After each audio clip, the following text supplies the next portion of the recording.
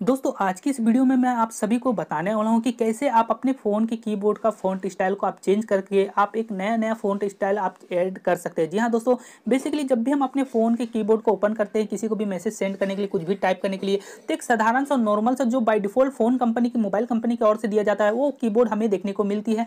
लेकिन हम इन की को देख देख हम, आप सब बोर हो चुके हैं हम चाहते हैं कुछ नया नया फ़ॉन्ट स्टाइल देखने को मिले। लेकिन हमारे फ़ोन के इस कीबोर्ड के अंदर में, सेटिंग के अंदर में कहीं भी कोई ऐसी सेटिंग नहीं दी गई है, जिससे हम अपने फ़ोन के इस कीबोर्ड का फ़ोन स्टाइल को चेंज कर सकें। लेकिन दोस्तों, आज की इस वीडियो में मैं आप सभी को एक ऐसी एप्लीकेशन के बारे में बताने वाला हूँ, जिस एप्लीकेशन का इस्तेमाल करके आप एक नहीं, दो नहीं, एक से बढ़कर एक फ़ोन स्टाइल आप अपने फ़ोन के की में ऐड कर सकते हैं, वो भी बिल्कुल फ्री में। तो जानने के लिए आज की इस वीडियो को पूरा और ध्यान से देखते रहिए। अपने फ़ोन के कीबोर्ड का फ़ॉन्ट स्टाइल चेंज करने के लिए दोस्तों, आप सभी को एक छोटी सी एप्लीकेशन डाउनलोड करनी होगी, जिसका लिंक आपको इसी वीडियो के डिस्क्रिप्शन में मिल जाएगी, जहाँ से आप इजीली इस एप्लीकेशन को डाउनलोड कर सकते हैं। डाउनलोड करने के बाद जब आप इस एप्लीकेशन को ओपन करेंगे तो यहाँ पे इस तरीके का इंटरफेस आपको देखने को मिलेगी। तो आप अलाउ पे क्लिक करेंगे और स्टेप वन और स्टेप टू इन दोनों सेटिंग को आप परमिशन को अलाउ कर देंगे। मैंने ऑलरेडी पहले से कर रखा है।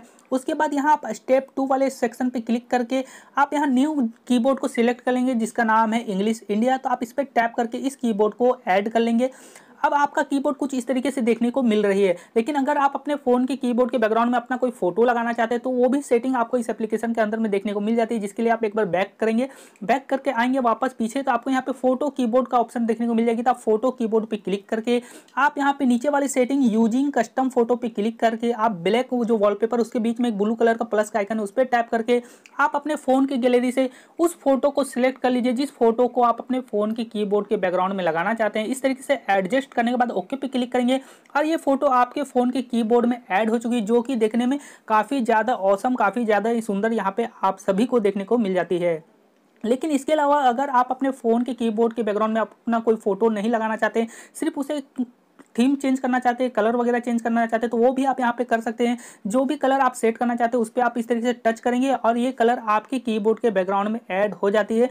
अब जब भी आप अपने कीबोर्ड का इस्तेमाल कहीं भी कुछ भी टाइप करने के लिए मैसेज सेंड करने के लिए करेंगे ओपन करेंगे तो आपका कीबोर्ड इस तरीके से देखने को मिल जाती है। लेकिन अभी आप यहाँ पे कुछ भी मैसेज टाइप करके किसी को भी सेंड करते हैं तो आपको एक नॉर्मल सा फ़ोन आपको आपका देखने को मिलती है, जिसे आप चेंज करने के लिए आप ऊपर में एक सेटिंग आ चुकी है, जहाँ पर आप राइट साइड या लेफ़्ट साइड इस तरीके से स्क्रॉल अप करते हैं तो आपको कई सारे फोन्स देखने को मिल जाते हैं। जिस भी फ़ोन में आप टच करेंगे, आपका कीबोर्ड उसी फ़ोन स्टाइल में चेंज हो जाती है, जो कि देखने में एंड यूज़ करने में काफ़ी ज़्यादा ईजी एंड काफ़ी ज़्यादा मज़ेदार होने वाली है। जिस भी फ़ोन स्टाइल में आप किसी को मैसेज सेंड करना चाहते हो, उस फ़ोन स्टाइल पर टच करिए और आपका कीबोर्ड उसी फ़ोन स्टाइल में चेंज हो जाती है।